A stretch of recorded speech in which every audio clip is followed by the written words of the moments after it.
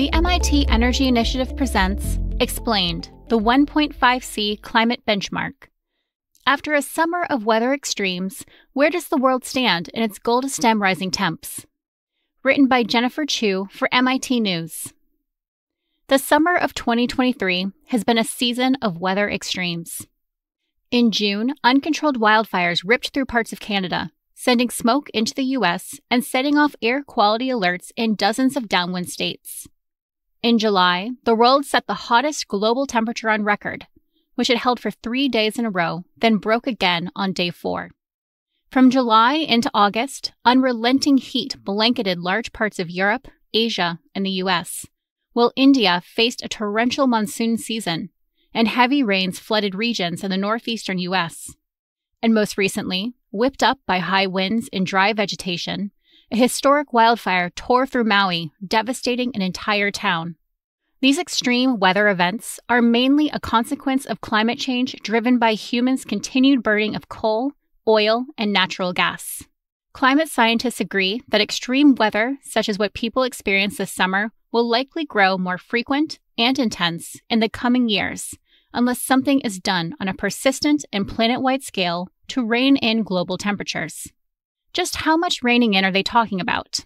The number that is internationally agreed upon is 1.5 degrees Celsius. To prevent worsening and potentially irreversible effects of climate change, the world's average temperature should not exceed that of pre industrial times by more than 1.5 degrees Celsius, 2.7 degrees Fahrenheit. As more regions around the world face extreme weather, it's worth taking stock of the 1.5 degree bar, where the planet stands in relation to this threshold, and what can be done at the global, regional, and personal level to keep 1.5 alive. Why 1.5C? In 2015, in response to the growing urgency of climate impacts, nearly every country in the world signed on to the Paris Agreement, a landmark international treaty under which 195 nations pledged to hold the Earth's temperature to well below 2 degrees Celsius above pre industrial levels, and going further, aim to limit the temperature increase to 1.5 degrees Celsius above pre industrial levels.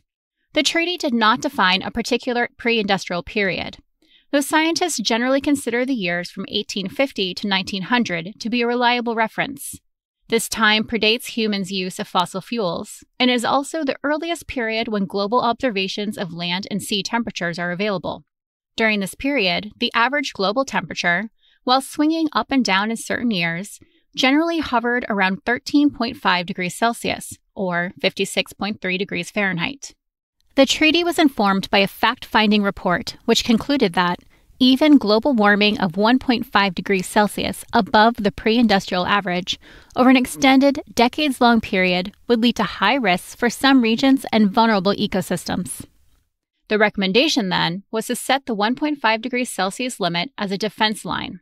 If the world can keep below this line, it potentially could avoid the more extreme and irreversible climate effects that would occur with a 2 degrees Celsius increase, and for some places, an even smaller increase than that. But as many regions are experiencing today, keeping below the 1.5 line is no guarantee of avoiding extreme global warming effects. There is nothing magical about the 1.5 number, other than that it's an agreed aspirational target. Keeping at 1.4 is better than 1.5, and 1.3 is better than 1.4, and so on, says Sergei Paltsev, Deputy Director of MIT's Joint Program on the Science and Policy of Global Change.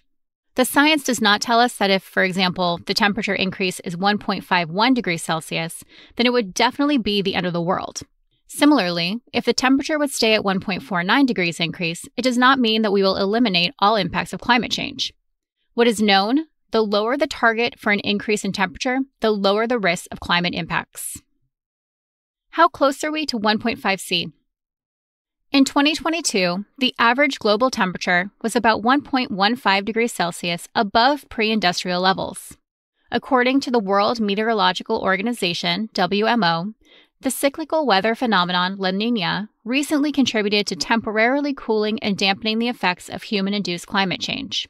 La Nina lasted for three years and ended around March of 2023. In May, the WMO issued a report that projected a significant likelihood, 66%, that the world would exceed the 1.5 degrees Celsius threshold in the next four years. This breach would likely be driven by human induced climate change, combined with a warming El Nino, a cyclical weather phenomenon that temporarily heats up ocean regions and pushes global temperatures higher. This summer, an El Nino is currently underway, and the event typically raises global temperatures in the year after it sets in, which in this case would be in 2024. The WMO predicts that for each of the next four years, the global average temperature is likely to swing between 1.1 and 1.8 degrees Celsius above pre industrial levels. Though there's a good chance the world will get hotter than the 1.5 degree limit as a result of El Nino, the breach would be temporary, and for now would not have failed the Paris Agreement, which aims to keep global temperatures below the 1.5 degree limit over the long term averaged over several decades rather than a single year. But we should not forget that this is a global average, and there are variations regionally and seasonally, says Elfatih Eltahir, the H.M. King Bhumibol Professor and Professor of Civil and Environmental Engineering at MIT. This year, we had extreme conditions around the world, even though we haven't reached the 1.5 C threshold. So, even if we control the average at a global magnitude, we are going to see events that are extreme because of climate change. More than a number. To hold the planet's long term average temperature to below the 1.5 degree threshold, the world will have to reach net zero emissions by the year 2050, according to the Intergovernmental Panel on Climate Change, IPCC. This means that, in terms of the emissions released by the burning of coal, oil, and natural gas, the entire world will have to remove as much as it puts into the atmosphere. In terms of innovations, we need all of them, even those that may seem quite exotic at this point fusion, direct air capture, and others, Paltsev says. The task of curbing emissions in time is particularly daunting for the United States, which is second only to China in generating the most carbon dioxide emissions in the world. The US's burning of fossil fuels and consumption of energy is just way above the rest of the world.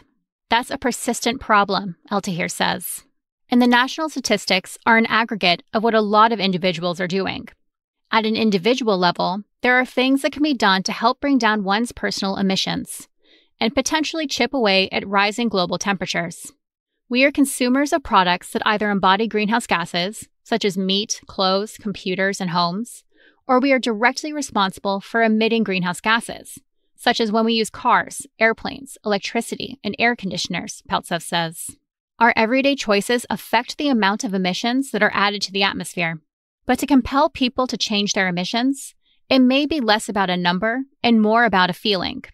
To get people to act, my hypothesis is you need to reach them not just by convincing them to be good citizens and saying it's good for the world to keep below 1.5 degrees, but showing how they individually will be impacted, says Eltahir, who specializes on the study of regional climates, focusing on how climate change impacts the water cycle and frequency of extreme weather such as heat waves. True climate progress requires a dramatic change in how the human system gets its energy, Paltsev says. It is a huge undertaking. Are you ready personally to make sacrifices and to change the way of your life? If one gets an honest answer to that question, it would help to understand why true climate progress is so difficult to achieve.